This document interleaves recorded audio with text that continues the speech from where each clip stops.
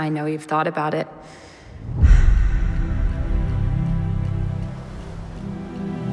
How far is it across?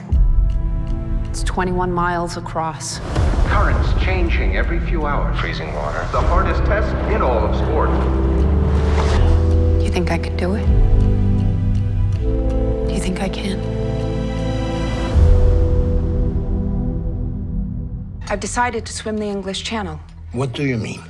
I'm going to swim the English Channel. No, I'm saying. I wasn't asking.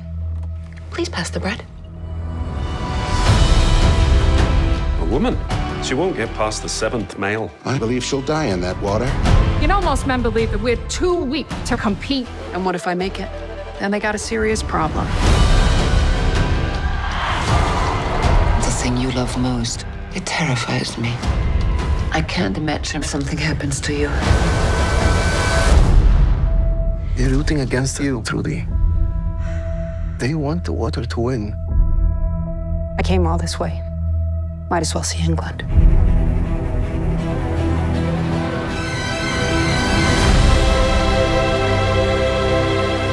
There's no going back. Come on, girl. Kick your feet!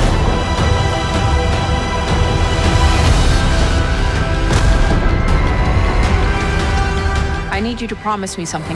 Don't let anyone take me out of the water, no matter what.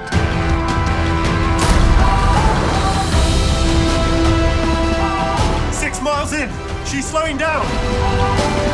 They don't want us to be heroes. They don't want us to be anything.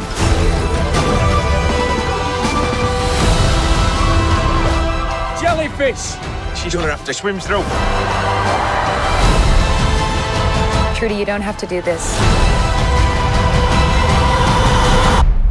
I don't know. Seems like a nice day for a swim.